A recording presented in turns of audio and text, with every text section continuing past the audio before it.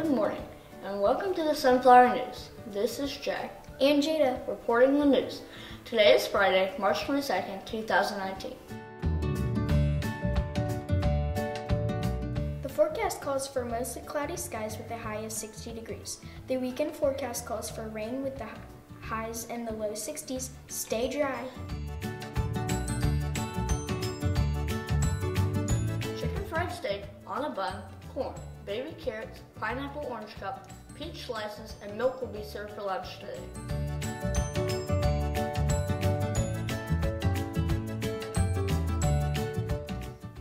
Isabella Nicholson and Chloe Weems are celebrating their birthdays today. We hope you both have a great day. Happy birthday wishes go out to Logan Fields, Lila Blackie, Alexa Sullivan, Kaylee Davison, Mason Barnett, and Jose Vasquez, who will be celebrating their birthdays over the weekend. Happy birthday, happy birthday to all.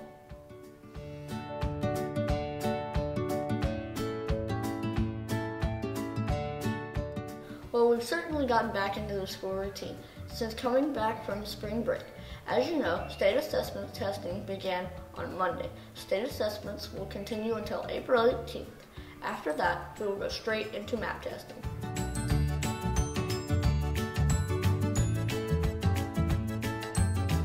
Many of you have already been testing this week, but we still want you to, to bring you a few words of advice and encouragement from your teachers so that you can do your absolute best. Let's take a listen. If you're nervous or feeling frustrated, just remember to stop for a few seconds and take a few deep breaths. You'll feel much better and ready to go again.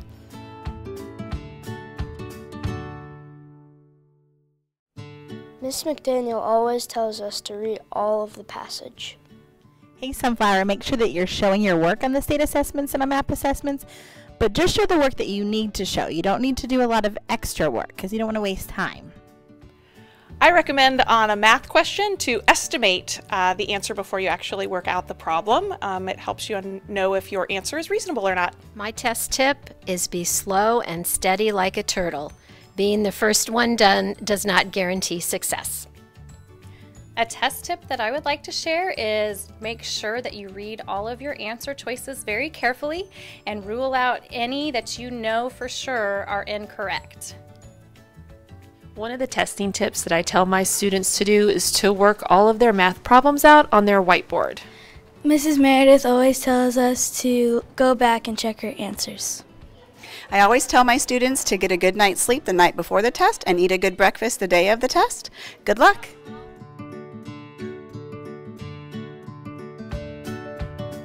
For state testing, I would skip questions if you're stuck and you can come back to it. Um, for map testing, just try your best and do as much as you can um, just because you can't skip on map testing. But for state, skip it. If you are stuck, don't waste too much time on it and you can always come back to it. Boys and girls, be very precise when you choose your answer choices. Read them carefully before clicking. Good luck!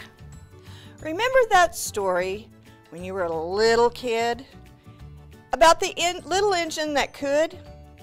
Think of that when you go into the test and tell yourself, I think I can, I think I can, I think I can, and you will.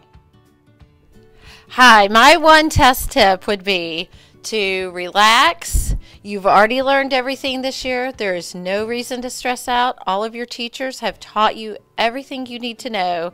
You will do awesome.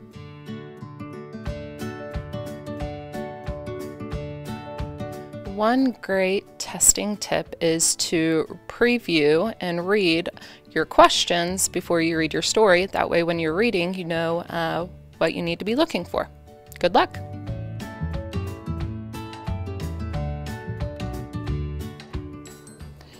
Make sure you get enough rest, eat a healthy breakfast, and do your best.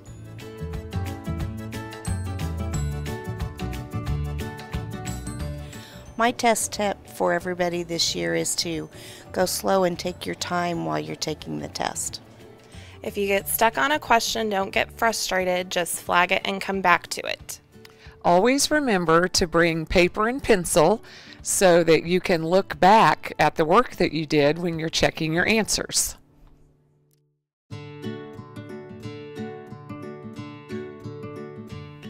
My test tip is to read the questions first before you read the passage.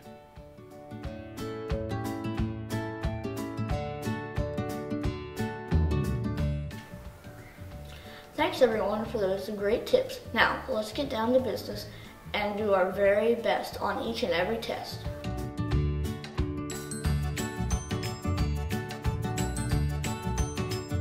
Have a good, safe weekend.